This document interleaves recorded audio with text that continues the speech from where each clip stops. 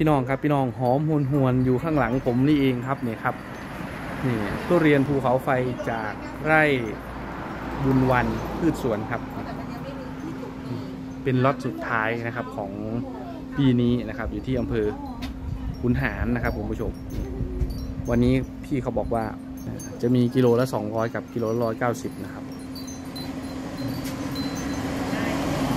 โอ้ สวนปลูกสวนอะไรแต่วันสวนล่างที่มันสวย กินได้เลยมีสวยมากเลยครับ อันนี้น่าสักสองสามวันเนาะได้เลยโอ้ใช่อันนี้ ค่ะสองวันทานได้ อันนี้ลูกนี้สวยมากเลยลูกนะนี้คะสวยเปลือกบางจริงอ่าช่างหน่อย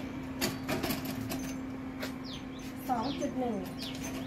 สองจุดหนึ่งโลขอดูสิก็สองวันนั่นแหละค่ะสองวันสองวันประมาณวันพุธเขียนให้หน่อยสองจุดหนึ่งเอาละ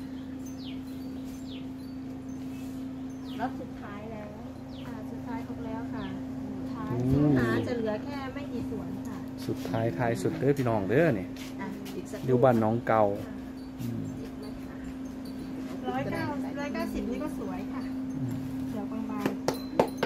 สุดบ้างๆอันนี้ไม่ใช่สุกแล้วสุดแล้วแกะเลยแกะได้เลยมันมันไม่ได้ป้ายยา มันก็จะเหมือนแบบมีภูแข็งภูพอดีนะคะอืไม่เป็นไรมแกะแกะใส่ไปแล้วก็กินหมด นี่ครับคุณผู้ชมทุเรียนล็อตสุดท้ายเด้อมาทางเข้าบ้านน้องเก่าเลย อยู่ทางขวามือนะครับพอแล้วเข้ามาได้เลยล็อตสุดท้าย คาดว่าไม่เกิน อีกประมาณจักมือเบิร์ดครับสองวันหมายถึงว่าก็ประมาณทุเรียนอ่าเหลืออีกอาทิตย์หนึ่งอยู่ค่ะอาเพทิตราะย์ว่าหนึ่งบนต้นยังไม่ตัดก็มีโอ้ต้นยังบไดก็มียังท่านครับส่วนล่างตรงเข้ามาตรงประตูโขงบ้านหนองเก่าเนาะไปอีกนี่แหละค่ะลงไปอำเภอขุนหาร มาบ้านหนองเก่าก็มาได้เลย วันนี้มาเหมาแล้วครับ เสียใจด้วยกับทุกคน ผมเหมากลับไปหมดละ